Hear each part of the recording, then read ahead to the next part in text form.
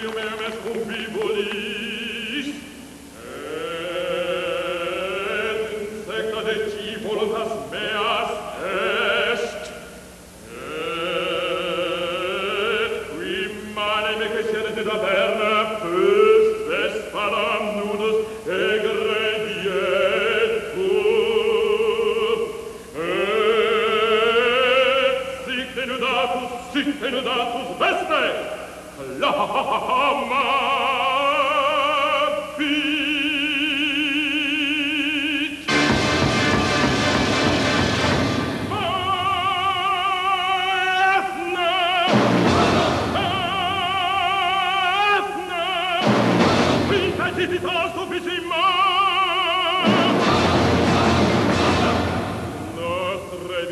omnia, abstulisti omnia,